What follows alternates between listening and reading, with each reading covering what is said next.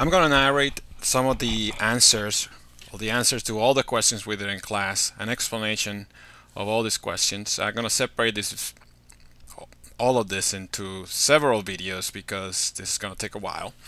I'll try to see, um, I'll try to, you know, get through them uh, tonight. I probably might need until tomorrow, Wednesday night. So let's start with uh, basic principles. This is uh, stuff in chapter one. We didn't know a lot of a lot of questions here, but the questions sometimes are kind of confusing. The first one we did in class is for your last birthday, your parents gave you a used car for which they pay the fair market value of 10,000. If you remember this question, the, the key here to answer this question is that you understand the idea of opportunity cost. And the answer to this question is B, because the opportunity cost is the value of the best alternative. And you have, your parents gave you a car for 10,000. Now they give it to you as, a, as free, but you could sell it to someone and you could sell it to someone for the market value of the car. So you have two options, either keep the car, uh, sell the car and make $10,000 or keep the car and use it, in which case you're, you're forfeiting the $10,000 you can make. Uh, common mistakes that students make in this question is to go for A, zero. Remember that nothing is free. Um, if you keep in the car, even though the car was was given to you as a gift, you are forfeiting the opportunity cost of selling it to someone else.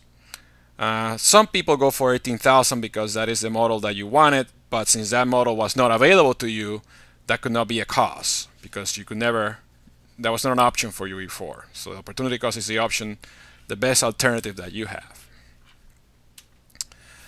The second question also has to do with opportunity cost, and this is just to remember that you can only do one thing at a time, so therefore the opportunity cost of doing option A is whatever other option you wouldn't, you wouldn't have been able to do.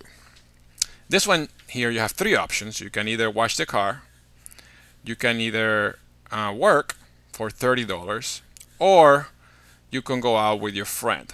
And in this question they're asking you what is the opportunity cost of going out with your friend.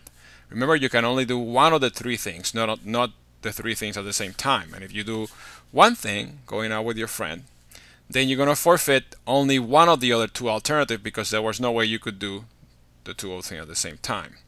So the opportunity cost of going out with your friend is going to be whatever else you would you would do if you don't go out with your friend and that will be your best alternative. So it has to be the one of the other two alternatives, which is washing the car or going out to work, whichever one gives you the most value. And since you are willing to pay $50 to someone, that's, that's the value of the improvement to your car appearance, then that's the best alternative for you that you will do if you don't go out with your friend. So therefore, you go out with your friend, you're giving up washing the car, which you would do rather than working, and that's $50. So the answer to this question is D, $50. Okay, so the next chapter is supply and demand. We'll start that one with a different